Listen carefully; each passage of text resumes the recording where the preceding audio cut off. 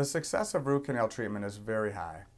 When we complete treatment on you on a tooth that hasn't had infection prior and was just causing you to have symptoms at the time, we expect with our treatment and a successful crown by your dentist for you to have years and years, if not decades, of success with your tooth.